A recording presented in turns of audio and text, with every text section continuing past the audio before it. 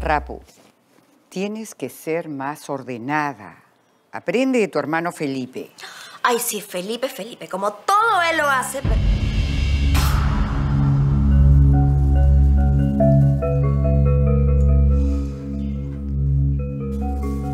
¿Quieres que mañana te ponga flores en tu cuarto? Sí, tráeme violetas, eso me hace bien. Muy bien. Voy a ver la comida.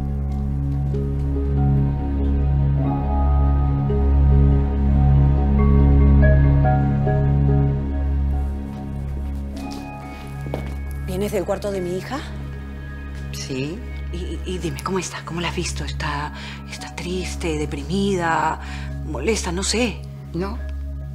Ella está muy bien. Bueno, qué bueno. Qué bueno.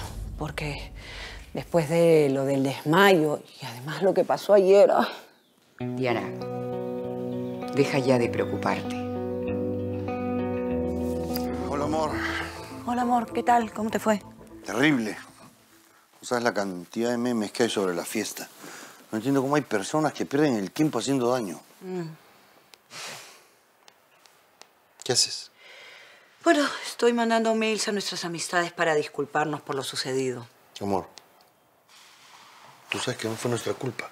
Sí, no sé, amor, pero sabes que prefiero hacerlo, así que déjame. Ah, sácame de una duda. ¿Cristina y Matías fueron a la fiesta? Porque no me acuerdo haberlos visto. ¿No? ¿No fueron? ¿Qué, no te enteraste? ¿Qué? Bruno, su hijo. No es su hijo, es adoptado. A los 25 años el muchacho se viene a enterar que no es hijo de ellos. Está destruido, molesto. No quiere saber nada de ellos.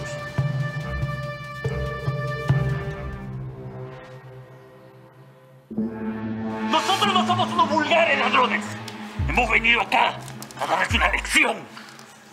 ¿Lección? ¿Qué lección nos van a dar, ah? Son unos vulgares delincuentes. Por gente como usted no progresa el país. No le voy a permitir que venga aquí a mi casa a malograrnos la fiesta.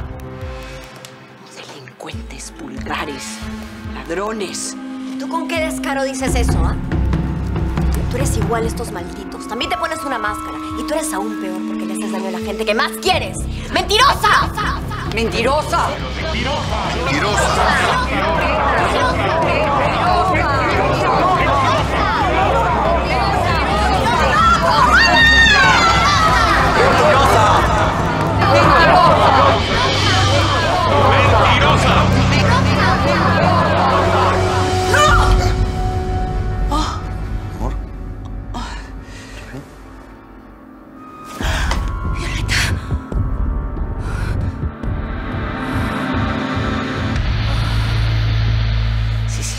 ¿Sí?